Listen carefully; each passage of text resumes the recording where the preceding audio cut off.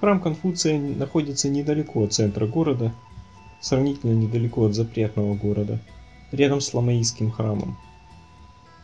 Конфуций жил по преданию в 551-479 годах до нашей эры.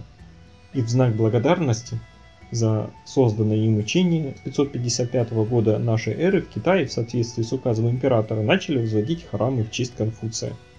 А пекинский храм Конфуция был построен в 1306 году. Потом он неоднократно реконструировался, но, говорят, сохранил свой первоначальный облик. Территория храма 22 тысячи квадратных метров. То есть это не храм как здание, а храм как парк, в котором много огромных толстых старых кипарисов и отдельных храмов-павильонов.